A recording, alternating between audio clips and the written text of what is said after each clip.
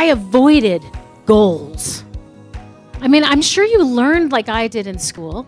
You go to a classroom, you hear a, a teacher speak, she gives you talks on a subject, and then what? They tell you to go home and study. We're going to have a test on Friday and see how you do.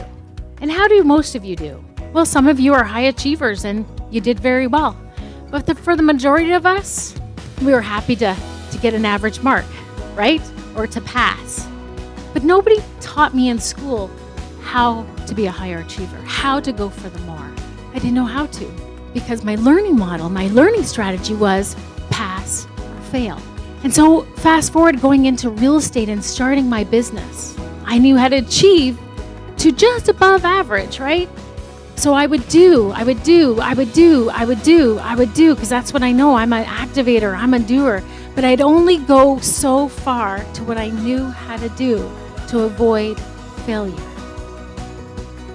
And so I don't know why you're here today, but I have to believe that you're here because there's something more inside of you that you know that you are meant to do, but you just don't know how to do it.